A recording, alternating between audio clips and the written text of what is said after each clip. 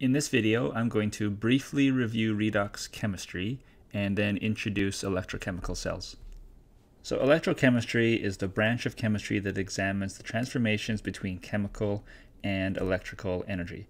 And to understand electrochemistry completely, you need to understand reduction oxidation or redox reactions. And a redox reaction is a reaction in which a substance gains electrons or loses electrons. So reduction is the gain of electrons and oxidation is the loss of electrons. Electrochemical processes are oxidation reduction reactions in which the energy released by a spontaneous reaction is converted to electrical energy or electrical energy is used to cause a non-spontaneous reaction to occur. In this section, we will be concentrating on the electrochemical processes that are spontaneous. So if you remember from your previous chemistry courses, a reduction, oxidation, or redox reaction is one in which the oxidation numbers of the components of the reaction change from reactants to products. So you may want to review the redox rules from your previous chapters in the textbook, but if we were to look at this reaction below, magnesium as a solid has an oxidation number of zero, O2 as a gas has an oxidation number of zero, and as that reaction proceeds to produce magnesium oxide, the oxidation number of oxygen changes from 0 to minus 2, and the oxidation number of magnesium changes from 0 to plus 2. So because the oxidation number of magnesium increased from 0 to plus 2, that means that magnesium lost electrons in the process of going from magnesium to magnesium oxide, so that would make it an oxidation half reaction. So a half reaction meaning we're only talking about magnesium going to magnesium oxide and we're not considering the oxygen half reaction. So half reaction meaning we're talking about what's happening to magnesium and not considering what's happening to oxygen, at least not yet. But since oxygen went from an oxidation state of 0 to minus 2, it gained electrons. So since it gains electrons, then it is a reduction half reaction. So here's one more example of a redox reaction. We have zinc plus acid in equilibrium with zinc 2 plus and hydrogen gas. So in a redox reaction, there's always going to be one reactant that loses electrons and one reactant that gains electrons. And we're always going to look at it in terms of one component on the reactant side and one component on the product side similar to when we were looking at conjugate acid conjugate base pairs. You see what happens with one component on the reactant side, look at the product side, to see how it changes, and then you look at the other component on the reactant side, and then look again on the product side to see how it changes. So if we look at zinc, we notice zinc was first a solid, and then it turned to zinc 2+. plus. So zinc as a solid is going to have an oxidation number of 0, and zinc 2 plus is going to have an oxidation state of plus 2. So it's just like the charge on the ion itself. So since zinc is losing electrons, going from a 0 to a plus 2, losing electrons, that means it's going to be the oxidation reaction. So zinc loses electrons because the oxidation number increases. And we could also call zinc solid the reducing agent because it causes something else or the other reactant to become reduced. So zinc is the reducing agent. Since the zinc is oxidized, the H plus must be reduced. So hydrogen ions gain electrons. It's going from a plus charge to a neutral charge, so going from a plus 1 to a 0 oxidation number. And because hydrogen is reduced, it must cause the other reactant to become oxidized. So hydrogen ion is the oxidizing agent because it is reduced. So now let's look at this reaction, zinc solid plus copper 2 plus in equilibrium with copper solid and zinc 2 plus. Let's split it up into two half reactions. So we have the oxidation half reaction where we're looking only at the zinc. So we have zinc solid in equilibrium with zinc 2 plus. But notice in that half reaction we also have two electrons. We have to add the two electrons in the half reaction because we have to balance the charge on both the reactant side and the product side of the chemical equation. We can do the same thing for copper. So we have copper 2 plus in equilibrium with copper solid. And we have to add two electrons to the reactant side in this case to balance the charge on the reactant side. So both the product side and the reactant side of both of these reactions have a net electrical charge of zero. So these are the two half reactions. One is written as an oxidation reaction, that's the zinc reaction, because we have electrons as a product, and the reduction reaction has electrons as a reactant. So again, for oxidation, the zinc is losing electrons to produce zinc 2 plus, whereas for reduction, copper 2 plus is gaining electrons to produce copper solid. Now, if we were to put a piece of zinc metal inside a solution of copper 2 plus, what you would see happen just spontaneously is that the copper 2 plus would deposit itself onto the zinc surface. So that's a chemical reaction that's happening spontaneously. So that is shown by our reaction up here, which shows that the copper 2 plus is turning into copper solid. But if we set up the reaction this way, it's not really doing anything useful for us. All we're doing is depositing copper onto the zinc. If we separate those two components, keep the zinc half reaction separate from the copper half reaction, what we get is what is called an electrochemical cell. And this is an apparatus that converts chemical energy into electrical work or electrical work into chemical energy. So we're going to look at these in a little bit more detail so you can see how they're set up. And we'll also talk about a cell diagram, which is a shorthand notation for a pictorial view that we'll talk about first and it shows how the components of the electrochemical cell are connected. So just quickly before we get into the diagram of the electrochemical cell, there are a few cell components that I will point out when we get there. So there are electrodes, which are conducting medium through which electrons can move from one half cell to the other. There's an anode and a cathode. An anode is the electrode at which oxidation occurs. A cathode is the electrode at which reduction occurs and there's a salt bridge that connects the two solutions of the electrochemical cell, and the salt bridge is there to exchange charges between the electrochemical cells. So it's there to make sure that the charges on either half of the electrochemical cell remain balanced because you can't have one half of the electrochemical cell becoming more negative and the other half becoming more positive because that is going to inhibit any movement of electrons from one side to the other. Within the salt bridge, there's going to be ions. For example, there might be potassium chloride. So the potassium ions or the cations are going to migrate towards the cathode. That's actually why the cathode is called the cathode. So cations move towards the cathode and anions move towards the anode. So if the salt bridge was made from potassium chloride, the chloride ions would move towards the anode. The cell potential, another word for that is the voltage of the cell, is the difference in electrical potential between the anode and the cathode. And depending on what the anode and cathode are made out of, that cell potential or the voltage is going to be different. So essentially what we're putting together here is a rudimentary battery. So batteries themselves are much more complicated than what I'm going to show in the next few slides, but these will do the same thing as a battery would. It would power a light bulb, it would power some other electrical device. So here's a type of electrochemical cell called a voltaic cell. So a voltaic cell is one in which a spontaneous reaction occurs and electrons will flow just by setting up the electrochemical cell as shown in this diagram. So if I zoom up on the voltaic cell, we have our chemical reaction here at the bottom, which is the same zinc and copper reaction that we looked at previously. But this time notice that all the components of the zinc half reaction are on the left. So we have our zinc 2 plus and our zinc solid electrode. And on the right hand side, we have all the components of the cathode. There's the copper 2 plus solution and the copper solid electrode. This is the salt bridge that connects both of the half cells together. And then there's a wire that connects the electrodes together and that is just connected to a voltmeter which tells us the voltage of this particular voltaic cell. Now the salt bridge in this case is made out of sodium sulfate so you can see the sodium ions are moving towards the right and on the right hand side is the cathode. And you can see the sulfate ions. They're moving towards the left. And this is the anode. So remember uh, the anode is where oxidation occurs. And we know from the reaction from a few slides ago that the zinc when coupled with copper is the oxidation reaction. And copper must be the reduction reaction. So copper has to be the cathode now, if you take a closer look at what's happening on the surface of the electrodes, that's shown in these blowups here.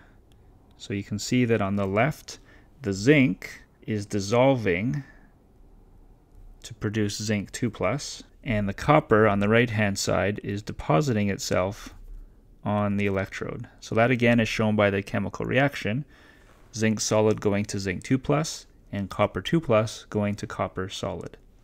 So on the slide, there's also a couple of memory aids to help you remember which half cell is oxidation, which half cell is reduction. And one thing I forgot to mention is the direction of electrons. They are going from anode to cathode. Okay, I always think of electrons going in alphabetical order, right? Going from A to C, anode to cathode. So as we saw in the close-up view of the electrodes, we noticed that copper was being deposited on the electrode and zinc was being removed from the electrode.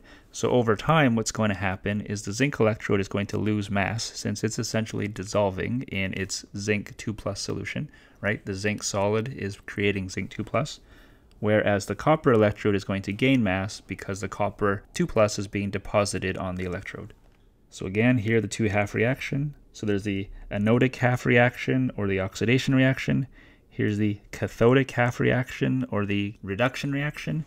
And the overall reaction is just the sum of both of those reactions, making sure that the electrons for each half reaction are the same so that they can cancel out, because you can't have electrons floating around in an overall reaction. So if instead of two electrons here we only had one electron, then what we would have to do is we would have to double that particular reaction to make sure that we had two electrons that could cancel out the two electrons for the other reaction. So we're not always going to want to draw out pictures like this to show us how an electrochemical cell is connected because that's too cumbersome and we don't need to put in all that detail. So what we would do instead is write out the cell diagram which looks like this down here. And what it shows is the components of the anode on the left hand side of the salt bridge which is shown by this double line here and on the right of the salt bridge shows the components of the cathode, or the reduction reaction. So anode on the left, cathode on the right, salt bridge in the middle, and then these single lines here between the components of the anode and cathode are phase boundaries. So the phase boundary just means that we have a solid in contact with an aqueous solution. So it's much easier to draw the cell diagram like this rather than drawing the picture, and it gives us the same information. So let's just do a quick practice writing cell diagrams. So we have an electrochemical cell below, and what we notice is that we have copper 2 plus and copper solid on the left hand side. We have silver plus and silver solid on the right hand side, and we're told that the copper side is the anode and the silver side is the cathode. So electrons are going to be moving from left to right, from anode to cathode. We have negative ions moving towards the anode, we have positive ions moving towards the cathode. And now to write a cell diagram, we can simply start from the left-hand side of this pictorial view and then move our way towards the right. So first we have the copper electrode. So we're always going to have an electrode on the left-hand side or the extreme left-hand side of a cell diagram. So what is the copper electrode in contact with? We'll draw a phase boundary and then it is in contact with copper 2 plus or copper nitrate. Copper 2 plus is good enough in this case. And then what is a copper 2 plus in contact with? It's in contact with the salt bridge. So we'll write the salt bridge. And then next, the salt bridge, that's in contact with silver plus. And then the silver plus is in contact with the silver solid. So hopefully you can see how I went from left to right there. Copper solid in contact with copper 2 plus, which is in contact with the salt bridge, which is in contact with silver plus, which is in contact with silver solid. So let's try another practice. So write the voltaic cell reaction and sketch a cell in which magnesium metal is oxidized to magnesium ions and copper ions are reduced to copper metal. Identify the cathode, anode, and direction of electron flow on the sketch. So this one's asking us to write out the reaction. So we can start with the half reactions and then write the overall reaction and then we'll do a pictorial sketch of the electrochemical cell. So in the question, we are told that magnesium is oxidized and copper ions are reduced. So that's a clue for how to write each half reaction. So if we have magnesium metal being oxidized, we're going to have magnesium solid in equilibrium with magnesium 2 plus plus 2 electrons. And if we have copper ions being reduced, we're going to have copper 2 plus plus two electrons in equilibrium with copper solid. So our first reaction with magnesium is the oxidation reaction. The second reaction with copper is the reduction reaction. Now we can write out the overall reaction. We have two electrons on either side for each reaction, so we can cancel those out. So our overall reaction is going to be magnesium solid plus copper 2 plus in equilibrium with copper solid plus magnesium 2 plus. And we should really have aqueous by each of the ions. Okay, so now let's just do a quick pictorial diagram. I'll keep the overall reaction on top. So for pictorial diagrams, you can always start out with a general diagram and then figure out what goes where a little bit later. So you can draw the two beakers with the electrodes and the salt bridge.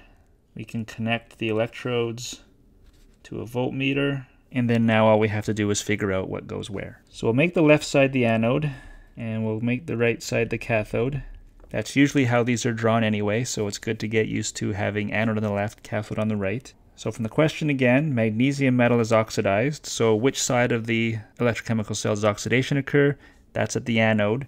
So magnesium 2 plus is going to be on the anode side, and then magnesium solid is going to be our electrode. So that means the other side has to be copper 2 plus as the cathode, and copper solid as the electrode. And electrons always go from anode to cathode, so electrons are going to go this way. And if you wanted to add a little bit more to this, if we had a potassium chloride salt bridge, potassium ions are going to go towards the cathode, and chloride ions are going to go towards the anode. So now that we've taken a look at electrochemical cells, what they look like and how they work, how do we determine what voltage is going to be produced by an electrochemical cell? So each half reaction in an electrochemical cell has a standard reduction potential, or a voltage that is associated with that particular half reaction. And these can be found in the appendix at the back of your textbook. So a standard reduction potential is the potential of a reduction half reaction in which all reactants and products are in standard states, 25 degrees Celsius. If it's a gas, it's at one atmosphere. If it's a concentration of solutions, it's got to be one molar. So just to emphasize this, these are standard reduction potentials. So all the equations, all the half reactions that you find in the appendix at the back of your textbook, they're all going to be written in the form of a reduction reaction. Now the standard cell potential is the voltage that the electrochemical cell is going to produce when two different half reactions are combined in that electrochemical cell. So for example, the zinc and the copper half reactions producing 1.10 volts when they are put together if you use copper and silver, as in the previous example, the voltage would be different than the 1.10 volts. And electromotive force is another word for potential, which is another word for voltage. It just means the force pushing electrons through the electrical circuit. So in order to figure out what the potential of an electrochemical cell is, we need to know the standard reduction potential of the cathode and the standard reduction potential of the anode. And again, we can find these in the back of the textbook in the appendix. So it's a pretty simple equation. You simply take the standard reduction potential of the cathode, subtract the standard reduction potential of the anode. Now the thing to remember about this is since it's a spontaneous reaction, the E cell, or the voltage of the cell, is always going to be positive. So if you get a negative number, you know you've done this backwards. Okay, always has to be positive for E cell when we're talking about a voltaic cell. So here's a partial table of some standard reduction potentials. So we have some positive standard reduction potentials, we have some negative standard reduction potentials. And the value of the standard reduction potential is just telling us how likely is this particular compound going to be reduced or oxidized. So the more positive the standard reduction potential, the more that that particular compound or molecule or atom or ion likes to be reduced and the more negative the number is, the more it likes to be oxidized. So if you were to couple, in this case, fluoride and lithium into an electrochemical cell, then the fluoride would be the reduction reaction, so it would be the cathode. The lithium would be the oxidation reaction, so it would be the anode. Now, if you chose two different ones, for example, fluoride and silver, both have positive standard reduction potentials, but since fluoride is more positive, it's going to be the reduction reaction, so silver will be the oxidation reaction. And if you chose two negative ones, for example, cadmium and lithium. Cadmium is still the bigger number. It's more positive, even though it's negative, than the lithium. So the cadmium is going to be the reduction reaction, and the lithium is going to be the oxidation reaction. So let's just take a final look at the electrochemical cell between zinc and copper. So in an appendix, you would see the zinc half reaction shown like this. So that's in a reduction form because we have zinc 2 plus gaining electrons to produce zinc solid. Remember, gaining electrons is a reduction reaction. And the standard reduction potential of zinc is minus 0.762 volts. Now for copper, if you find that in the appendix, it will be written also as a standard reduction potential copper gaining electrons to produce copper solid, and the standard reduction potential of copper 2 plus is 0.342 volts. So if you want to determine the voltage that would result from putting these two together in an electrochemical cell as shown in the diagram, so we have zinc 2 plus and zinc solid on the anode side, copper 2 plus and copper solid on the cathode side, and in this case our salt bridge is down here. What we would do is to take the standard reduction potential of the cathode, 0.342 volts, subtract the standard reduction potential of the anode, which is minus 0.762 volts, and the voltage that we end up with is 1.10 volts. So that would be the standard reduction potential or the potential of this particular electrochemical cell if the cell is at standard conditions. And you can see that we have a 1 molar concentration of both copper and zinc so if this was at 25 degrees Celsius, then that would be the voltage that would result from this particular electrochemical cell. So that's all I have for this section. If you have any questions, please let me know.